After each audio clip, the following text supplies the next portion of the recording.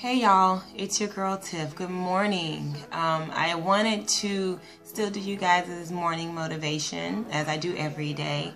Um, I know that we've all had a very tough and trying emotional weekend.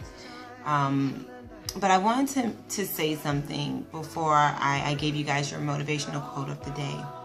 Um, with everything that's happening in the world, um, when everything happened in Paris, and I thought it was a great effort on everyone's part to say pray for Paris.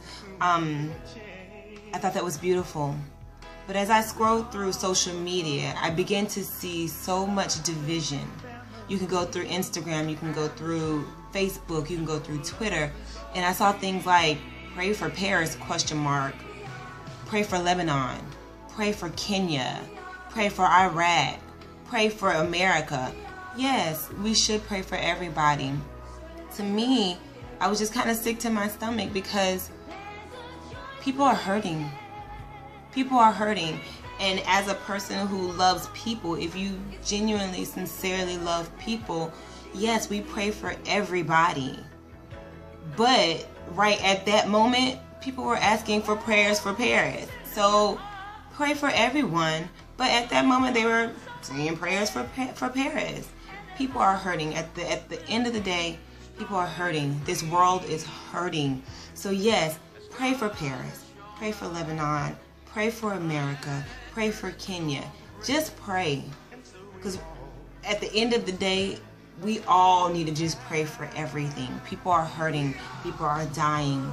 I'm sure when people were being executed, they weren't thinking, oh, well, when they talk about this happening, people are going to be angry and say, well, we didn't pray enough for Kenya or we didn't pray enough for, you know, America or whomever.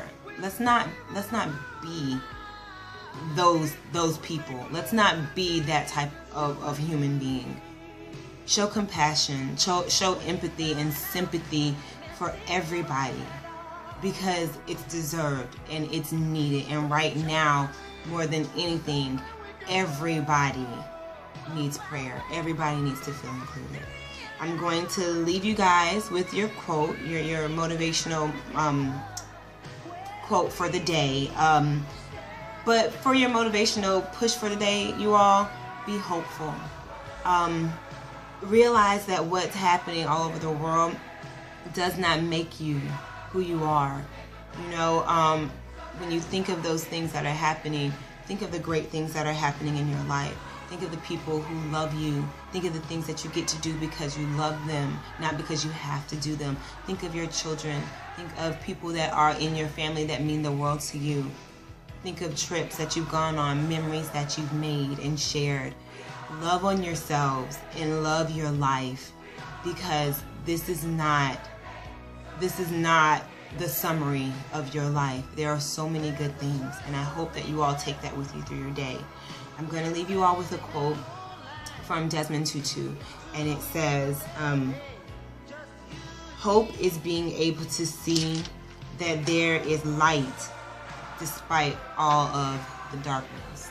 And I know it seems really dark right now, you guys, but be the light. I need you all to be the light in your own days and be the light in someone else's day. You never know if your light is the light that keeps them going. God bless everyone. Enjoy your day and take care of yourself.